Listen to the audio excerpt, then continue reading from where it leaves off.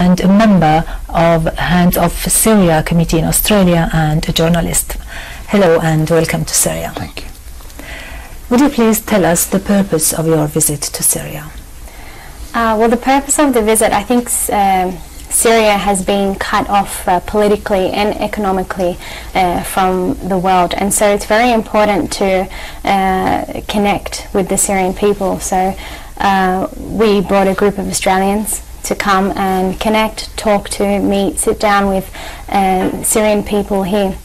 And so, uh, despite the aggressive war that has uh, been waged against Syria, it's important that Syria knows that it still does have friends internationally. Mm-hmm. Dr. Uh, Anderson, you have visited uh, Syria before. In your opinion, how important is visiting Syria? We think it's very important to see the human side of what's been going on. Uh, well, there's a, actually a, a, great Syrian community in Australia. Um, they have uh, through our organisation, which is Hands Off Syria, we uh, connect with a large number of them, and uh, they've been relentless in the defence of Syria, their homeland. Uh, they uh, participate in uh, in public rallies. Uh, they play a large role in in spreading news and um, things that are happening back home. They connect with their families here in Syria, and then they do what they can to present that to their Australian friends in the Australian community. Uh, so uh, they they play a, a, really important role, I think, uh, in showing what really is happening in, in Syria and it's it's not uh, the same as an Australian or a Westerner talking about Syria, and so their opinions are really valued over there. When a Syrian uh, says, you know, what really is happening in my country is this, uh, I think more people listen. Mm-hmm. As an Australian born Syrian and a journalist, what could you offer to help Syria combat terrorism? I think uh, what I offer is pretty much what every Syrian can offer. Uh, but what I can probably do uh, extra is that uh, I can act as a bridge, perhaps, between the Australian people and the Syrian people. My connection to Syria is very deep and very strong, and of course, I inherited that from my parents. Uh, and uh, through living in Syria for a number of years, but I was also born in uh, in Australia and I identify as an Australian. So I have uh, uh, absorbed both cultures, and so of course I. Um, I, I, see the good in both cultures and in both countries. And what I want to do is act as a bridge between my people in Australia and my people in Syria. And despite the Australian government's aggressive stance towards Syria, uh, I possibly, uh, I, I, have hope that the Australian people uh, will probably listen to people like me and not people like our politicians. And uh, as a journalist, of course, we know that journalists have, um, uh, you know, a, uh, a window to the world through the media. So I think I, I help in that way, and I hope that I am helping in that way. You have uh, visited Syria with different delegations. Uh, what are their impressions of our country? Well, uh, yeah, this is the second delegation that I've come to Syria with and um, they were both very different delegations. But what the Australians always say uh, is that they're blown away with the hospitality and the generosity of the Syrian people, and even more so that this is happening during a time of war when people are meant to be uh, frustrated and tired and uh, probably you know don't have time or the resources to welcome guests uh, in in such a warm manner. But uh, it always happens in Syria, and they always leave saying that they want to come back to Syria, uh, and so that's something that should make all of Syria proud. That uh, every Syrian uh, that we have met during, or they have met during their visits, has uh, left a really loving, lasting impression on them. But they're also very um, impressed with how everyday life is continuing in Syria. And so we, um, you know, the media over there basically says that Syria, you know, doesn't exist anymore. So they come thinking that they're coming into a really horrible war zone. When they come here they see people in cafes, and they see people in restaurants, hotels booked out, um, streets, you know, uh, are, are full, people are out until early hours of the morning.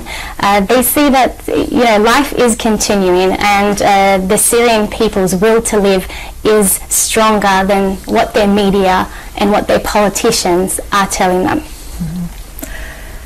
Dr. Anderson, how do you evaluate the, the conference? I think the conference was uh, an excellent uh, step um, in um, trying to uh, you know spread information of how to combat terrorism.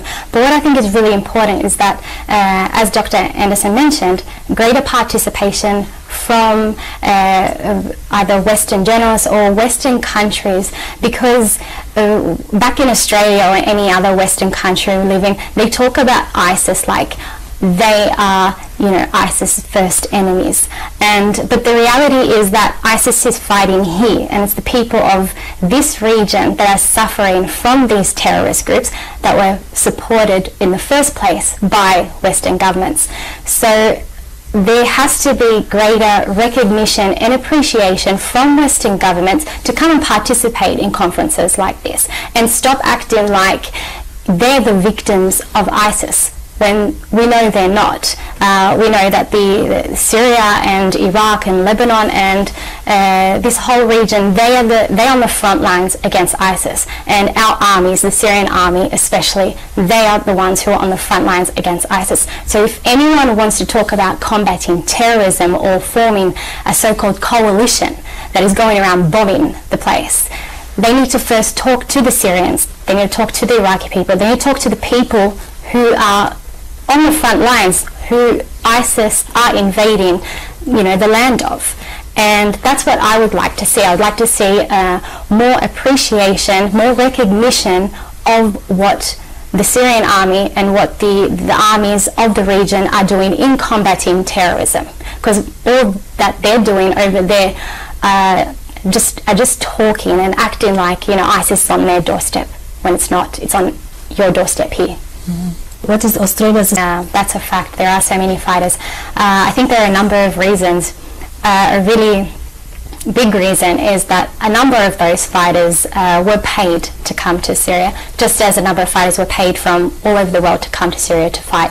Uh, and in recent times, there have been uh, a couple of arrests that the Australian government has made uh, of people who were rec- recruiting uh, others or fighters to come to Syria uh, to fight. So it, it's, it's a well-known fact right now that there were recruiting circles happening and people were getting paid to come to Syria to kill the Syrian people.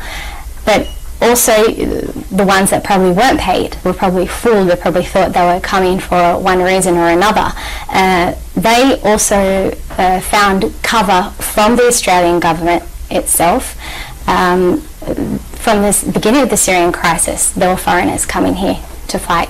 Uh, yet the Australian media and Australian government uh, refused to acknowledge it, even when some of them died while fighting here, and their Facebook, their public Facebook pages, uh, you know, were being updated with uh, updates from the battlefield saying they captured this person, they captured this many group uh, group of people.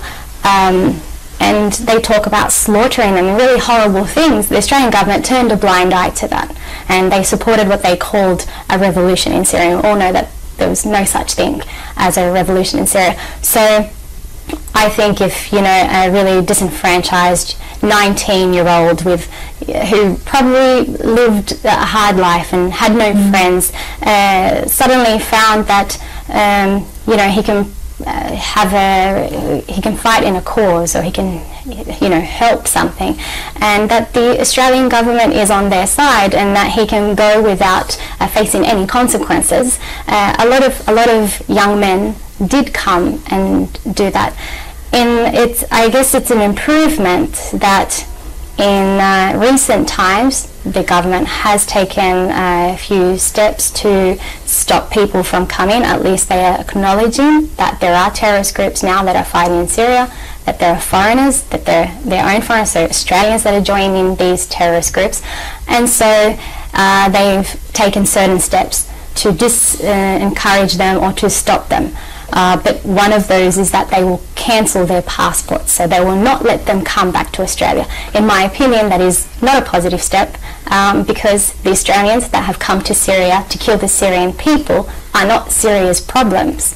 They need to go back to Australia they need to face justice in the country that uh, allowed them to become radicalized, that allowed them to book one-way tickets to Turkey and then cross over into Syria illegally. Uh, Dr. Anderson, most of the world countries stress to uh, the need to unify all efforts aimed at fighting terrorism. What do you think? Yes, it's true. That's what's necessary. But the problem is that there are now two coalitions, aren't there? There's two. The best way out of uh, this crisis. Oh, I think, um, uh, like like Dr. Anderson uh, said, I don't, I don't think Syria needs to be told what to do or how to. I think Syria is doing all it can to survive and to uh, uh to come out of this war uh, victorious. Um, but of course, uh, there's no denying that there has to be a, a greater international agreement over what's happening in Syria. Uh, I, in my opinion, that Syria is just a playing field for uh, the, the, you know big international powers, and um, and I'm sure that the Syrian leadership knows that. That's why since the beginning of the crisis, the, the invitations of negotiations and discussions were always open. And I think that's what uh, needs to continue. Uh, there's nothing that Syria needs to do that's different. Syria just needs to continue. It needs to continue to communicate. It needs to continue to uh, fight this war on the ground uh, and in the media and politically as well. Dr. Anderson, do you want to add anything? Uh, look, uh, Syria is my country, and I'm, uh, I'm proud to uh, be a Syrian. And um, so, like you said, every time I come, I meet new people as well and uh, I just get more and more proud of belonging to this great land and I, I, I, really, really hope from the bottom of my heart that this war will be over soon. Thank you very much. Thank you.